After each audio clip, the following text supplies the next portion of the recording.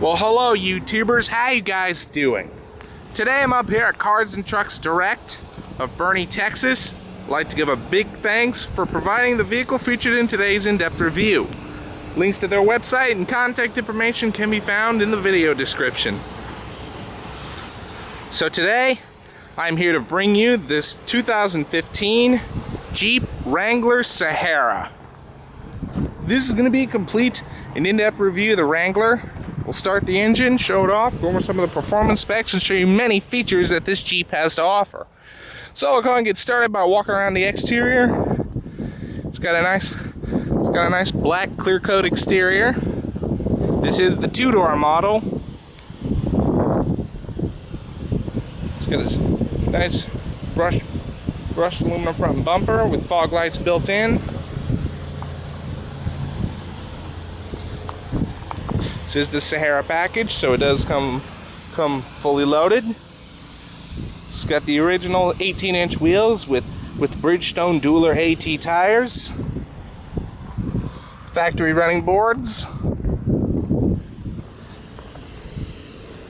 original spare tire on the back. Again, show you the rear storage area. Oops.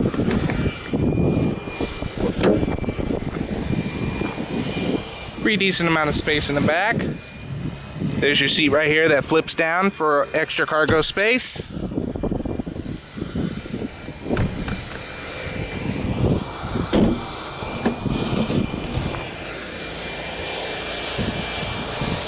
One nice little feature that these Sahara models have, they do come with remote start.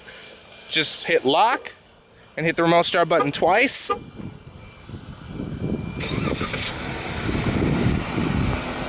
And there you go. We'll go ahead and shut it down and go inside. Inside, this does have a black cloth interior. All your power options are right up here in the dash. Your power windows, power door locks, or excuse me, your power door locks are on the dash. Down there's the power mirrors. So, let's go and jump inside here.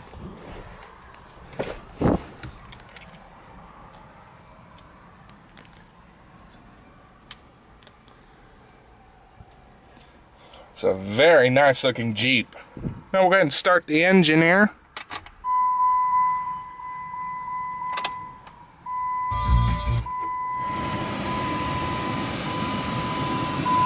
I don't know if you saw that radio screen right there, but after you wait a little while and you start it up, it does have a nice little Jeep emblem label that shows up right there.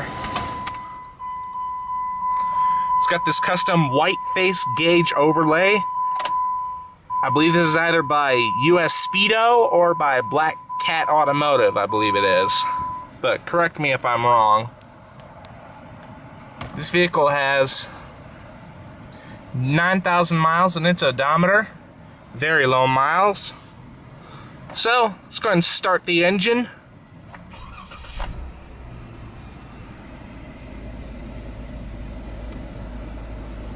Very nice.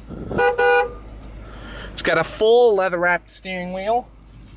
Very smooth power assisted steering. Just a little bit of stiffness to it. It's got a five speed automatic transmission with auto stick manual shiftability, pushing left to shift down and pushing right to shift up. Your numbers will show right up there in the dash. Alright, now we'll go ahead and turn on the lights. Does have automatic lights, fog lights, hazards. The, both the windows are fully automatic. Well, automatic down, I should say. Now let's go and check out the exterior.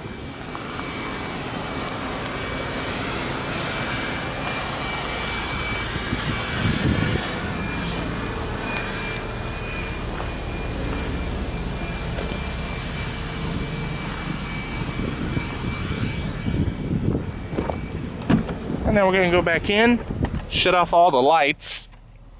And now we're gonna pop the hood and show you the engine.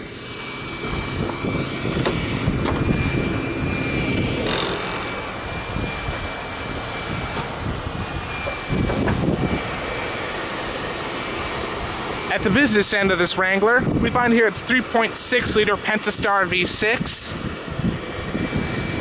Dual overhead cam with four valves per cylinder. This engine produces 285 horsepower and 260 foot-pounds of torque. It's a very smooth running engine. It's got a stock air box right over here.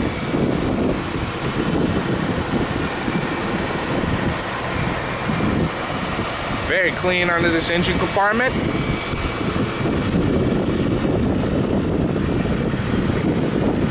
This engine is very fuel efficient too.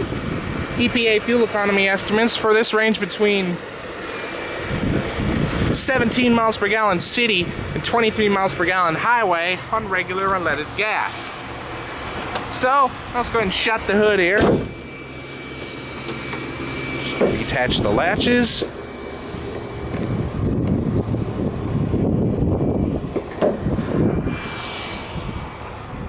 Alright, now let's go and go back in. Now we'll go ahead and see how it sounds.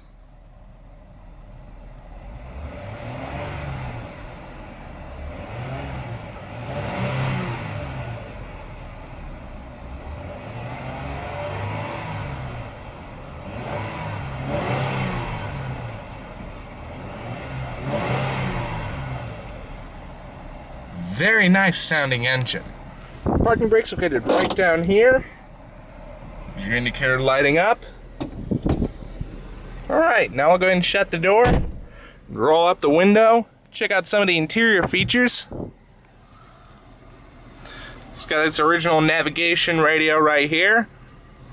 Standard on the Sahara, I believe even optional on the on the I forget what trim it is. Uh, the uh, Rubicon. Yeah, it just came to my mind. Anyway, right here's your radio controls. You go through AM, FM, and satellite radio. You can also show your presets right here. You can go up to 12 presets on the on these vehicles. Right here's your direct tune, your scan, replay. Your clock shows right down there. Go through your information and your, and your satellite browse. Also show your nav map right there. Media down here. HDD, disc, and auxiliary. Your line ins right down here. Pull this out right here, and you do have a USB port.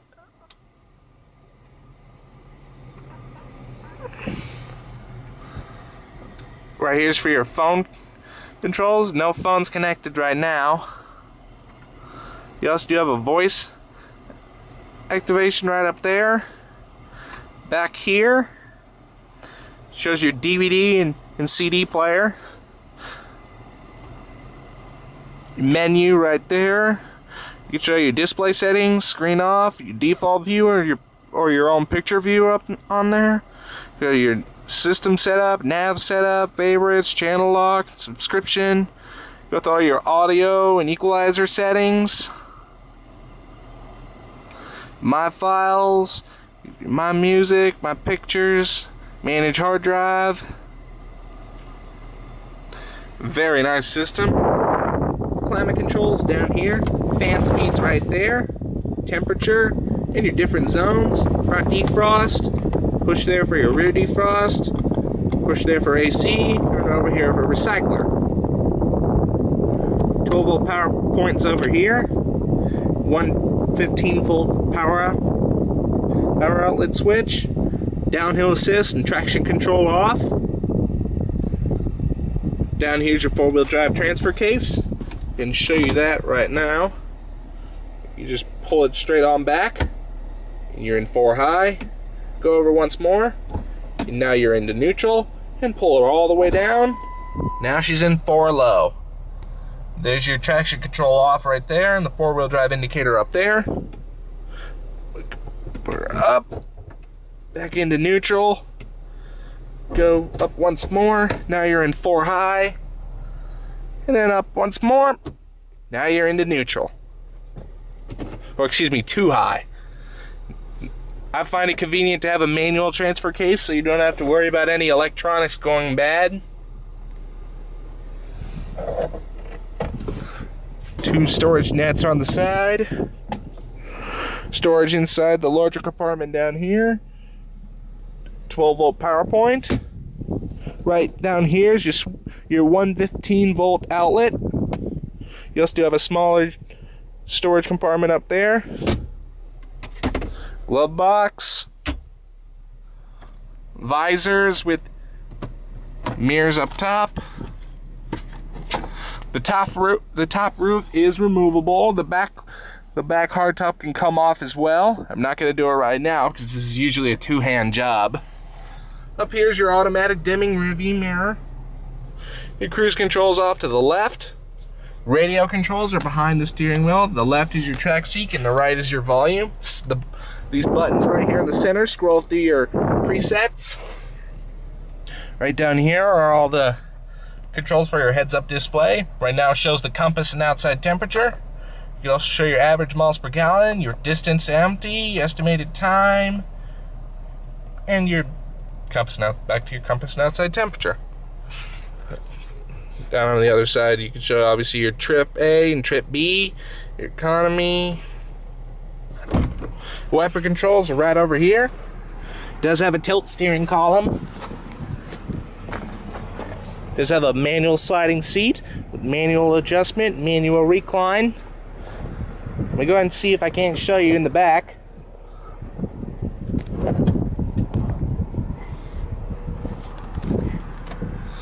See if I can't slide this seat forward all the way. Well, as best as I can do for now. And jump way back here. These two doors are not meant for the best back seat room. There's your good enough view back here. Your two little storage clips and cup holders back here. Two reading lights for for the rear passengers. Speakers up above the roll bar there. You also have two molded up there in the dash. Here's the best view of the dash I can get from the back seat. Alright, now I'm gonna go ahead and snake myself out of here.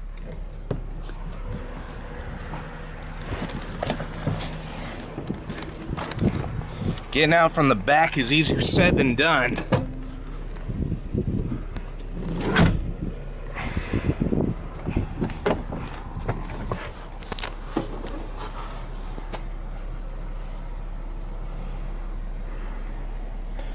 Overall, it's a very nice Jeep. We're gonna shut it down here.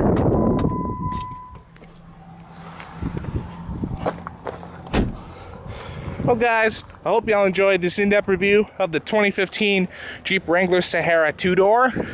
Please like, rate, comment, and subscribe. Thanks for watching, and we'll see you next time.